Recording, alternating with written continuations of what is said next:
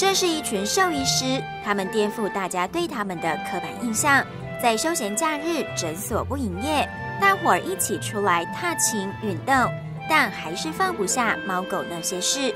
为了响应世界狂犬病日，他们用行动来宣导防疫。说。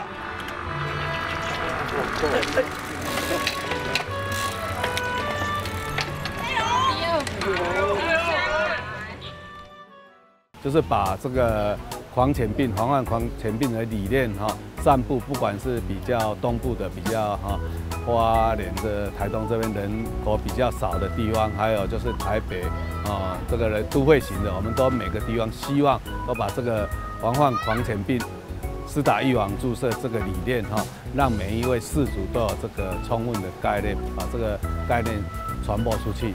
那我们也想过很多平面的方式。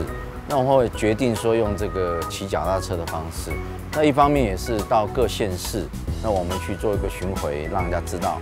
那也可能透过呃各工会的联结，我们做一个办活动的方式。那，我们曾经在西部，我们办了这今年是第三年。呃，在西部因为人口多，所以我们有办了一些像义诊，啊，像一些宣导，甚至像注射狂犬病的一个方式，来结合这个骑脚踏车的。活动活动号召了二十多位兽医师参加，让平常互动不多的兽医师远离尘嚣，进行交流联谊。从花莲到台东，沿着台九线，一边骑车运动，还欣赏了不少田园风光，对他们而言是难得的侠义。沿路风光明媚，好山好水，非常爽朗，好的活动。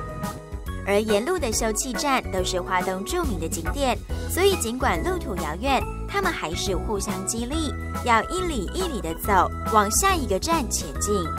我们现在下一站的目标是瑞穗火车站，我们希望啊，朋友们再继续加油，加油，加油！齐心协力，单车行，耶！今天。呃，这个呃这条自行车道哈，是一个非常舒适的一个自行车道，所以说对我来讲，呃，我就觉得说平常用运动方式在骑，也没有觉得说它非常快的，但是非常高兴，就是说我第一次骑这条路，感觉非常好。世界狂犬病日开始于二零零七年，台湾在有效的防治下，虽然是非疫区，但这种人畜共生的疾病，它的防疫要全面性。所以每一个环节都不能有漏洞，透过提高注射率，让它蔓延的几率降低。但我们邻近的国家，像大陆、中国大陆，它是疫区，而且我们现在跟中国大陆这个往来非常频繁，所以一定我们要危机的意识哈，让啊这个狂犬病不要去在台湾发生，因为它发生真的很恐怖，人的死亡率真的很高。百分之七十的易感染群众，只要接受注射就能有效切断感染链。一般认为，狗的行为取决于人的素质，狗的问题也是人的问题，要从饲主的观念改变起。所以这次行经台东也举办了宣导注射活动。活动里面呢，我们有狂犬病疫苗的免费注射，还有狂犬病的一些有奖征答。啊，然后呢，我们有准备产品呢，啊，那提供给参与的民众。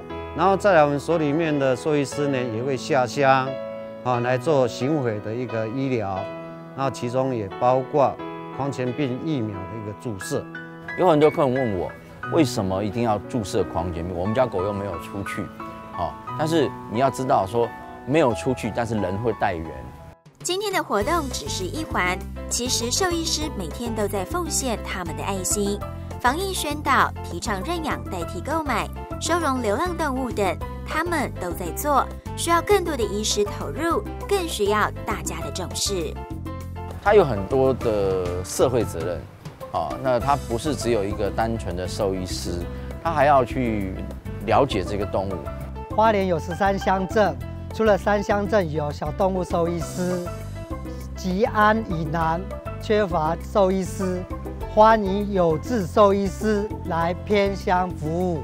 希望说我们兽医哈啊能继续加强啊，跟政府配合做一些公益的活动哈，让呃动物啊，这些狗猫免于那个啊呃疾病的那个折磨啊痛苦啊。